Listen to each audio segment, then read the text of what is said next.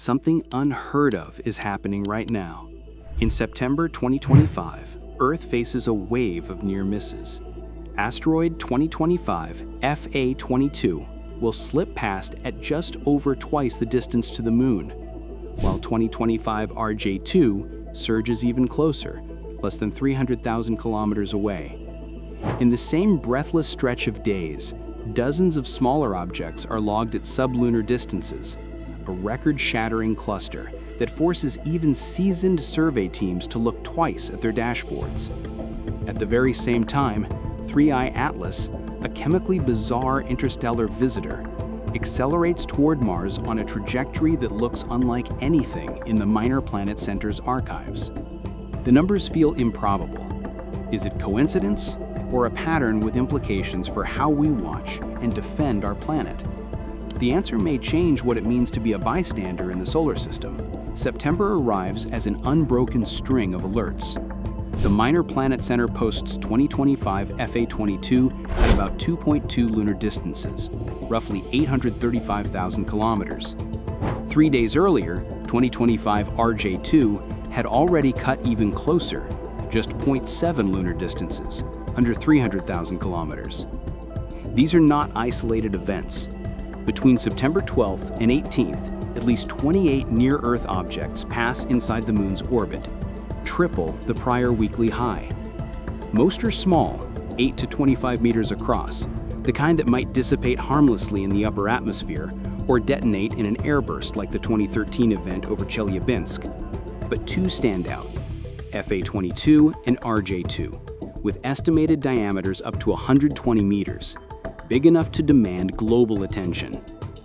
Each detection flashes across the consoles at Pan-STARRS in Hawaii, Atlas in Chile, the Vera-C Rubin Observatory in the Atacama, and Catalina in Arizona.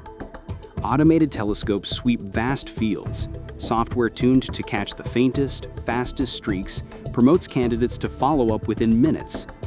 Rubin, only months into full operations, adds a flood of fresh finds, its wide-field imager covering the sky in arcs that would have missed targets just a year ago. On paper, a week with more than 25 sublunar NEOs is a once-in-decade statistical outlier.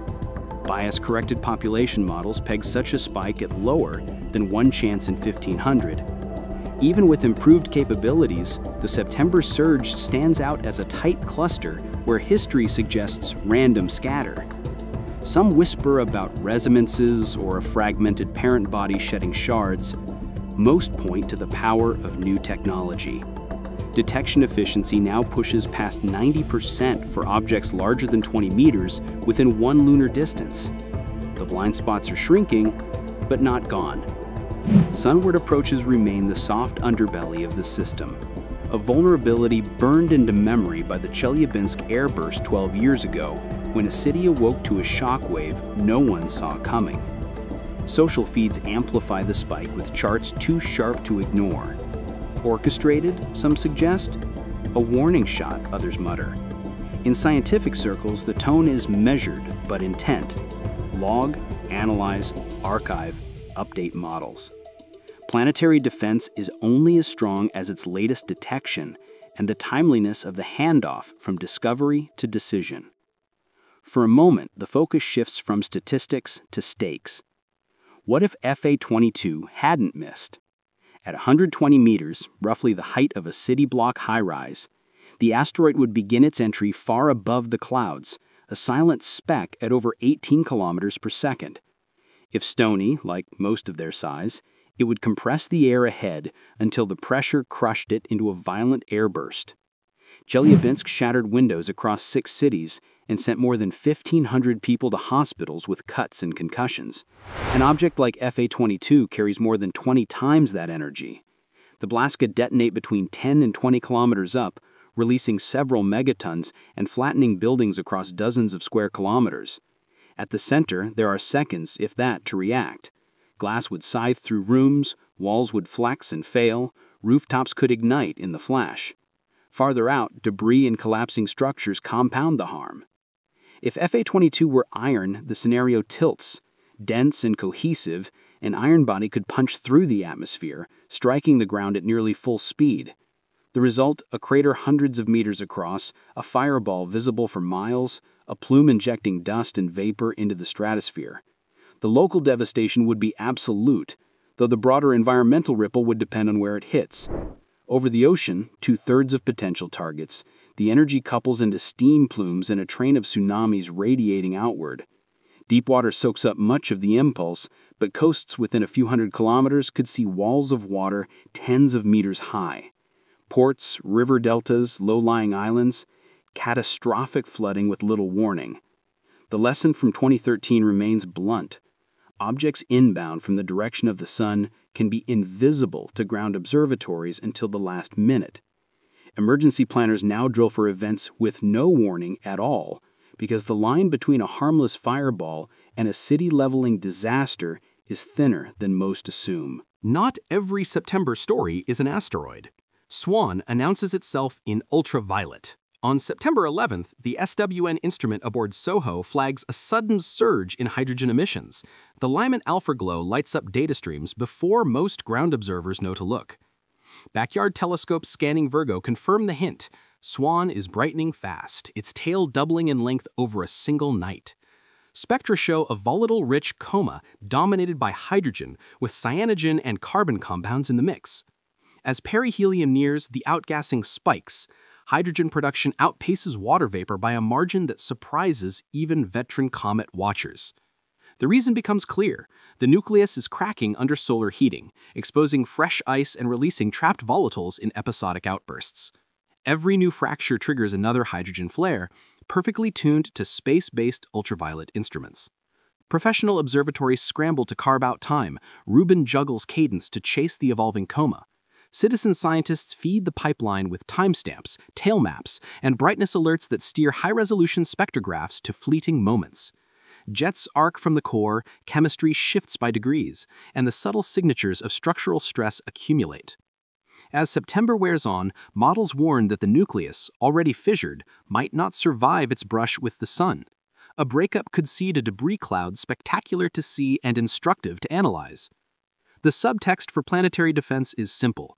Not all warnings are quiet, linear, or obvious.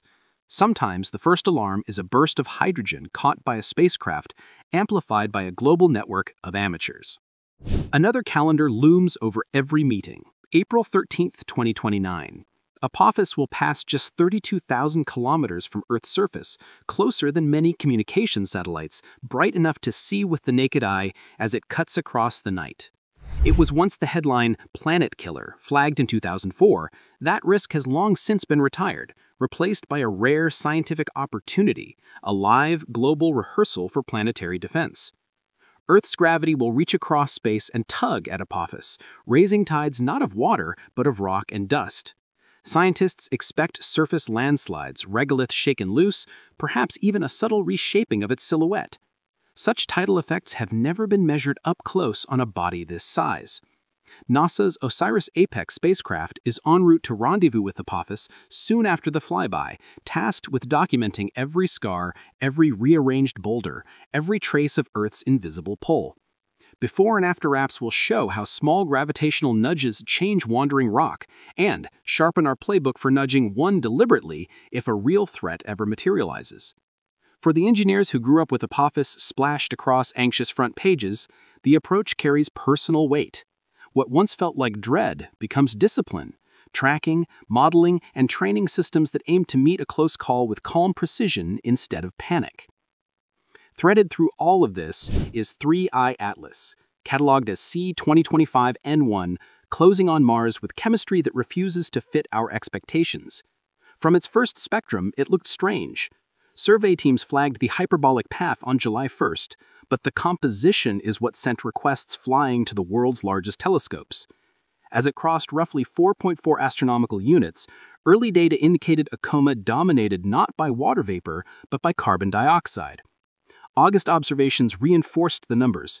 Carbon dioxide production near 129 kilograms per second, while water trailed around 6.6, almost 20 to 1 a reversal of the usual rule of bright active comets where water typically overwhelms CO2.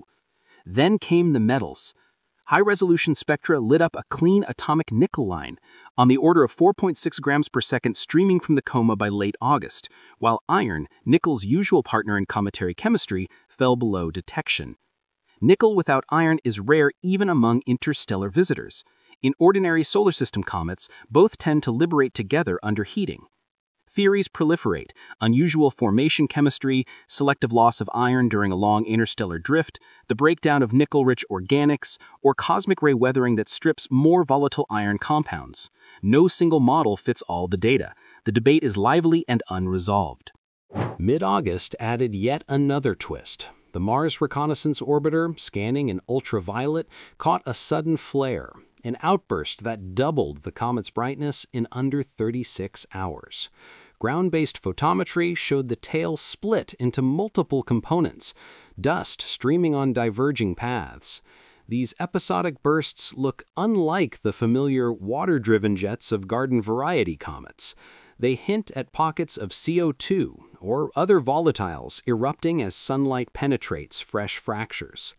Rotation studies deepen the puzzle, Light curve analysis suggests a slow, possibly tumbling nucleus spinning on an axis that drifts over time.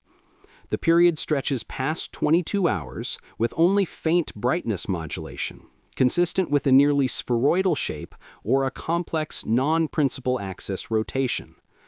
Forecasting outbursts and tail evolution becomes an exercise in humility, with perihelion set for October 29th and a superior conjunction blackout looming from Earth's perspective, spectroscopists are in a race against the calendar to record every line and band they can. Before that, a close pass by Mars offers a unique vantage, orbiters poised to watch an interstellar comet skim past a neighboring world. By month's end, September reads like a four-act lesson. A cluster of asteroid near misses stresses the detection net we've built. A hydrogen-loud comet announces itself in ultraviolet before most telescopes can swing. An impending flyby in 2029 will test our readiness in full public view. And an interstellar outlier insists on chemistry that rewrites assumptions line by line. Maybe it's a coincidence. Maybe it's a hint. Either way, the message is steady. The solar system is active. Our neighborhood is alive with motion, and vigilance is not optional. Our best defense is early detection, open pipelines from discovery to action, and instruments, on Earth and in space, that catch the faintest hints before they become headlines. In this season of close calls and bright tales, preparedness is not a slogan. It's the quiet machinery that turns warning into safety, curiosity into knowledge, and surprise into something we can live with.